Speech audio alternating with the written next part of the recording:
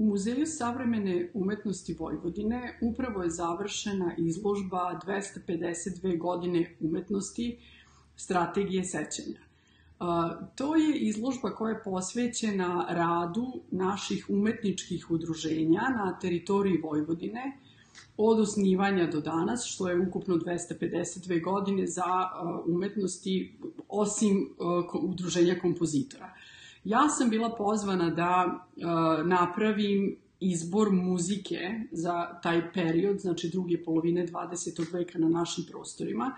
I ono što se ispostavilo kao zadatak koji je izazovan bio je da se pronađu kompozicije, znači i snimci i tačni podaci o nastancima dela naših kompozitora iz, iz tog perioda.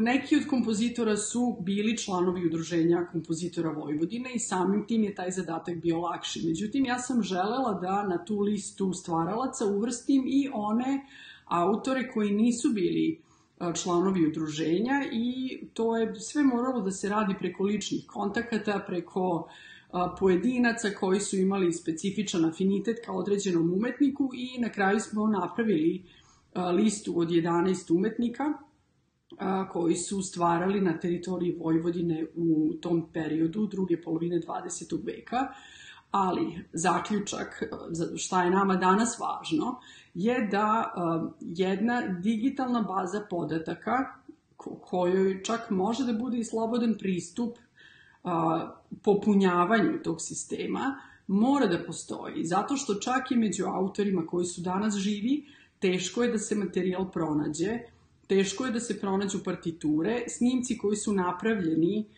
pre naših ratova 90. godina, vrlo teško mogu da se pronađu. On, o, ti snimci možda postoje u privatnim arhivama, ali to nisu arhive koje su dostupne javnosti.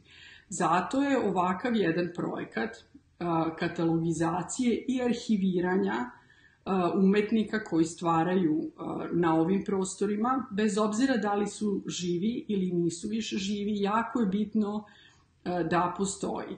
Takođe, opet ponavljam, ne radi se o odgovornosti udruženja kompozitora, zato što nisu svi stvaraoci članovi udruženja kompozitora.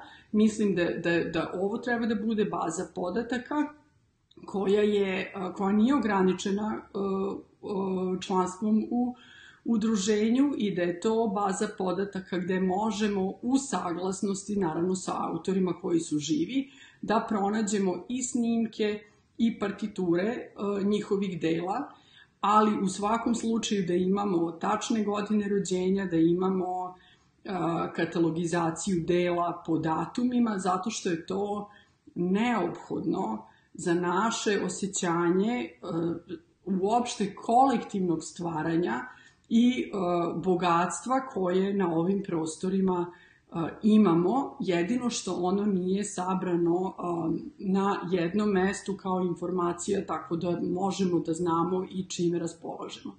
Znači, tu vrstu fragmentacije i tu vrstu lične inicijative i ličnog afiniteta koji postoji pre, prema određenom umetniku, da sve te pojedince motivišemo i da imamo informacije na jednom mestu zato što je to upravo snaga naše sredine i naš osjećaj da pripadamo jednoj kreativnoj, kvalitetnoj zajednici, da sa nama ništa ne počinje i sa nama se ništa ne završava, to je vrlo važno osjećanje, pogotovo za najmlađe generacije.